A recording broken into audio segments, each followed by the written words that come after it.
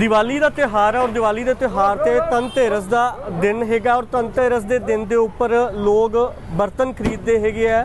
ਮਹਿਲਾਵਾਂ ਖਰੀਦਦਾਰੀਆਂ ਕਰਦੀਆਂ ਹੋਈਆਂ ਨਜ਼ਰ ਆ ਰਹੀਆਂ ਹੈਗੀਆਂ ਔਰ ਫਿਰੋਜ਼ਪੁਰ ਦੇ ਮੇਨ ਬਾਜ਼ਾਰ ਦੇ ਵਿੱਚ ਹੈਗੇ ਆ। ਤਸਵੀਰ ਤੁਹਾਨੂੰ ਦਿਖਾ ਦੇਣਾ ਚਾਹੁੰਦੇ ਹੈਗੇ ਆ ਕਿ ਇਸ ਵੇਲੇ ਮਹਿਲਾਵਾਂ ਜਿਹੜੀਆਂ ਉਹ ਘਰ ਦੇ ਬਰਤਨ ਖਰੀਦੀਆਂ ਹੋਈਆਂ ਨਜ਼ਰ ਆਉਂਦੀਆਂ ਹੈਗੀਆਂ ਔਰ ਵੱਖ-ਵੱਖ ਤਰ੍ਹਾਂ ਦੀ ਆਈਟਮਸ ਹੁੰਦੀਆਂ ਨੇ।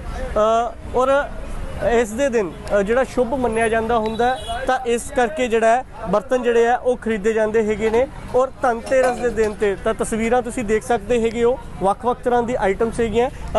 ਮੈਮ ਤੁਸੀਂ ਕਿਵੇਂ ਦੇਖਦੇ ਹੋ ਕਿ ਧਨਤੇਰਸ ਦੇ ਦਿਨ ਤੇ ਜਿਹੜੀ ਇਹ ਆਵਲੀ ਖਰੀਦਦਾਰੀ ਹੁੰਦੀ ਹੈ ਬਰਤਨ ਖਰੀਦਦੇ ਆ? ਹਾਂਜੀ ਬਹੁਤ ਚੰਗੀ ਹੁੰਦੀ ਹੈ ਸ਼ੁਭ ਹੁੰਦਾ ਹੈ। ਭਾਂਡੇ ਖਰੀਦਣਾ ਸ਼ੁਭ ਹੁੰਦਾ ਹੈਗਾ।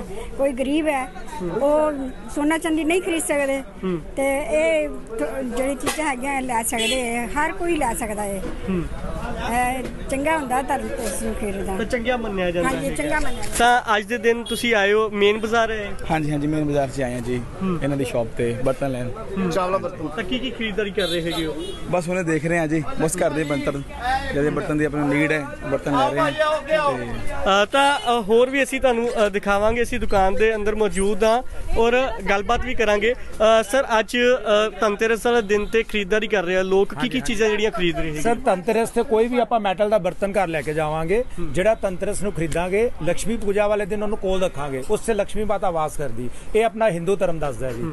ਔਰ ਸ਼ੁਭ ਮੰਨਿਆ ਜਾਂਦਾ ਹੈਗਾ ਸ਼ੁਭ ਮੰਨਿਆ ਜਾਂਦਾ ਕਿਹੜੀ ਕਿਹੜੀ। ਆਈਟਮਸ ਜਿਹੜੀਆਂ ਕੋਈ ਵੀ ਯੂਟੈਂਸਿਲ? ਕੋਈ ਵੀ ਮੈਟਲ ਸੋਨੇ ਦੇ ਚਾਂਦੀ ਦੇ ਐਲੂਮੀਨੀਅਮ ਦੇ ਸਟੀਲ ਦੇ ਕੋਈ ਬਰਤਨ ਲਓ ਤੁਸੀਂ ਸਭ ਦੇ ਵਿੱਚ ਇਸ ਤਰ੍ਹਾਂ ਮੰਨਿਆ ਜਾਂਦਾ ਜੀ। ਹਰ ਬਿਲਕੁਲ।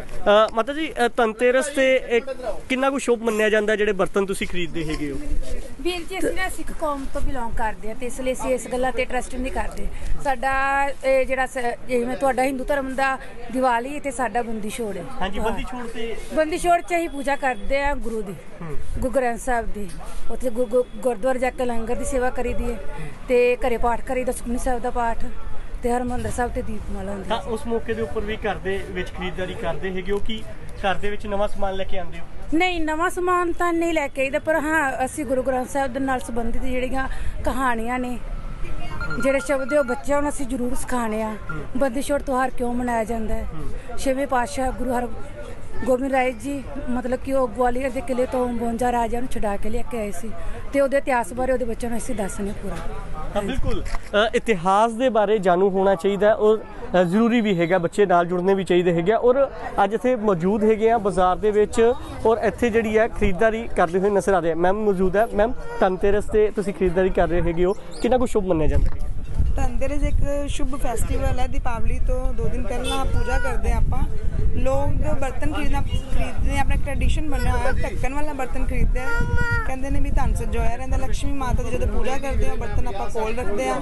ਐਸੇ ਕਿ ਸਾਰੇ ਘਰ ਦੇ ਲੇਡੀਜ਼ ਕਿਚਨ ਦੇ ਇੱਕ ਨਵੀਂ ਆਈਟਮ ਵੀ ਬਣ ਜਾਂਦੀ ਤੇ ਇੱਕ ਆਪਣਾ ਪਰਵ ਵੀ ਮਨਾਇਆ ਜਾਂਦਾ। ਕੀ ਨਾਮ ਹੈ ਮੈਮ ਤੁਹਾਡਾ? ਸ਼ਰੂਤੀ ਤਮ ਤਾਂ ਬਿਲਕੁਲ ਅੱਜ ਫਿਰੋਜ਼ਪੁਰ ਦੇ ਵਿੱਚ ਬਾਜ਼ਾਰਾਂ ਦੇ ਵਿੱਚ ਰੌਣਕ ਜਿਹੜੀ ਹੈ ਉਹ ਲੱਗੀ ਹੋਈ ਹੈ।